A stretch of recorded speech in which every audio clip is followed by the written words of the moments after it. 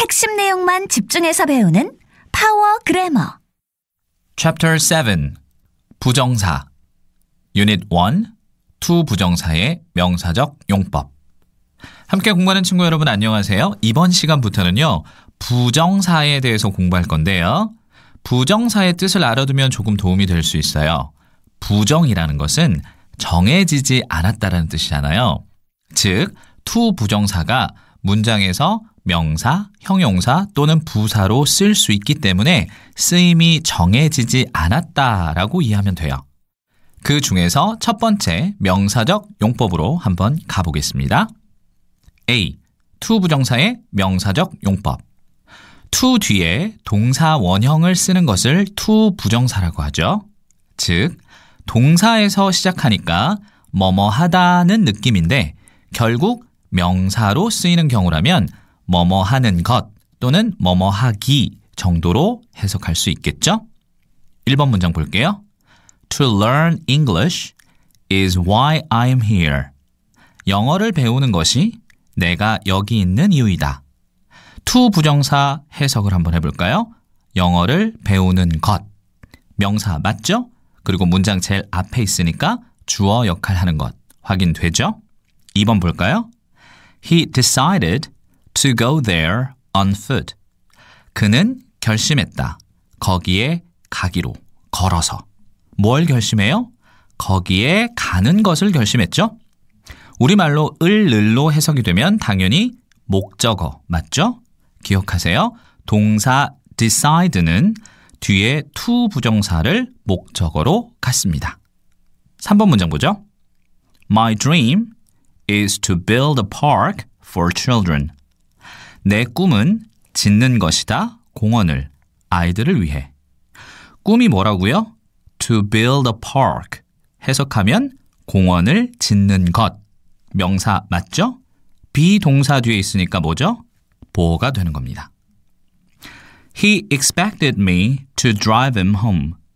그는 기대했다. 내가 그를 집으로 데려다 주기를.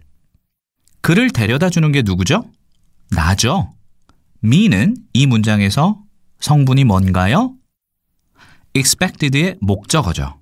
그럼 to drive him home이 목적 보호가 되겠네요. 이해되나요? 자, 기억하세요. expect 동사는요, 뒤에 목적 보어로 to 부정사를 갖습니다. B. 주어로 쓰이는 to 부정사. 앞의 내용에서 우리 조금씩 더 깊이 들어가 볼 건데요. To get up early is good for your health. 일찍 일어나는 것은 좋다, 너의 건강에. 뭐가 좋다고요? To get up early. 해석해 보세요. 일찍 일어나는 것. 자, 이 문장을요, 살짝 다르게 써볼 거예요. 주어가 조금 긴 것 같아서 긴 주어를 뒤로 보내고 문장 처음에는 가짜 주어인 it을 쓰는 거예요. 그럼 문장이 이렇게 되겠죠? It is good for your health to get up early. it을 뭐라고 한다고요?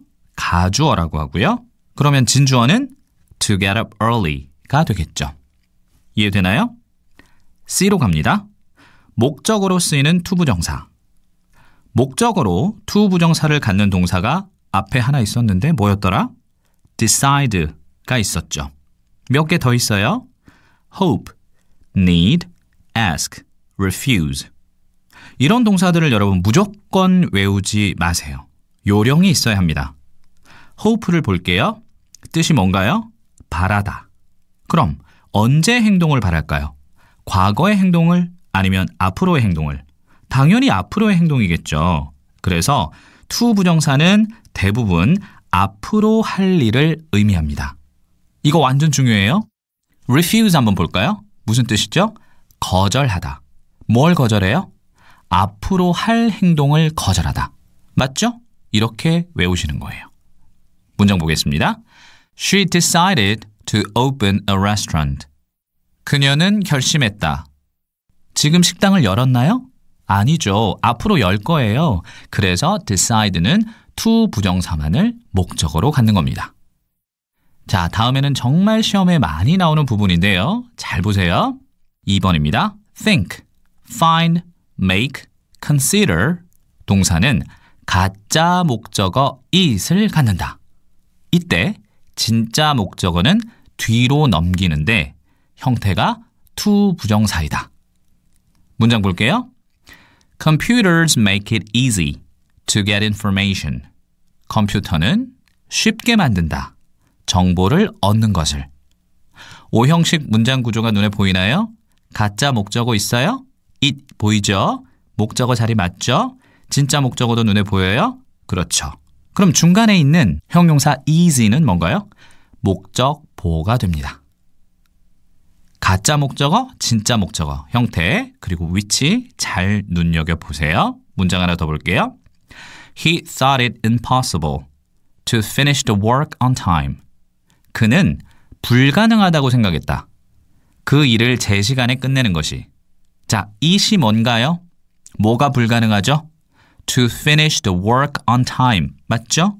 it은 가짜 목적어, to finish the work on time은 진짜 목적어. 괜찮나요? 자, 이제 D로 가겠습니다.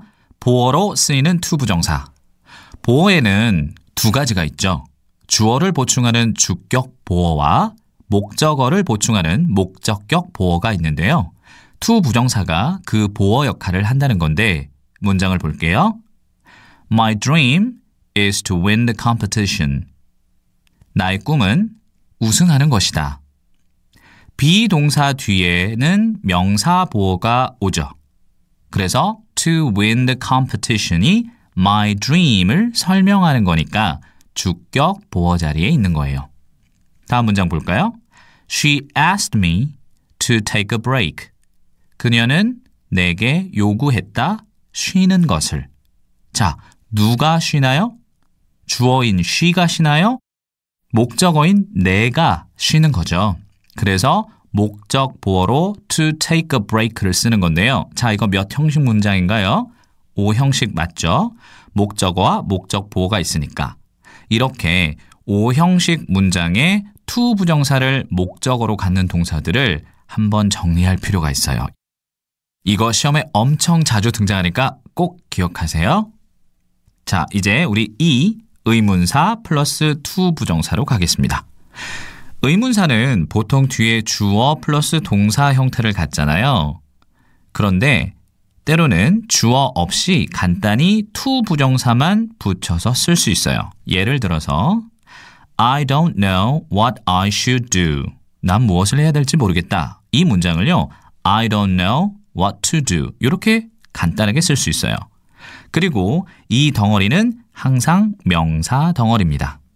자, 예를 들어서 what to do 라고 하면 무엇을 할지, when to do 그러면 언제 할지, where to go 어디로 갈지, how to go 어떻게 갈지. 그쵸? 이렇게 덩어리로 만들 수가 있겠죠. 다만 why 뒤에 두 부정사는 없습니다. 알겠죠? 자, 예문 하나만 볼까요? 마지막 4번 예문이에요. I don't know how to spell that word. 나는 모른다. 어떻게 철자를 쓰는지 그 단어를. spell은 여기서 동사로 쓰이고 있고요. how to spell that word가 know의 목적어로 쓰이고 있죠. 자, 이제 F, to 부정사의 부정으로 가겠습니다. 부정어 not의 위치만 알아두면 돼요. to 바로 앞에 쓰면 됩니다. 문장 보죠. He tries not to laugh. not은 to 부정사 바로 앞에 씁니다. 자, 그럼 중요한 것들만 핵심 정리해 볼게요. 핵심 포인트 1번. to 부정사가 명사로 쓰여서 문장에서 주어, 보어, 목적어의 역할을 합니다. 2번. to 부정사가 덩치가 커서 뒤로 돌리게 되면 가짜 주어나 가짜 목적어로 it을 쓸 수가 있습니다. 3번. to 부정사를 목적으로 갖는 동사들을 한번 정리해 주세요. 그리고 마지막 4번 to 부정사를 목적격 보호로 갖는 5형식 동사들을 다시 한번 꼭 머릿속에 넣어주시기 바랍니다. 자 여기까지입니다. 오늘 열심히 공부해준 친구들 고맙고요. 저는 다음 시간에 또 여러분 만나러 올게요. 고맙습니다.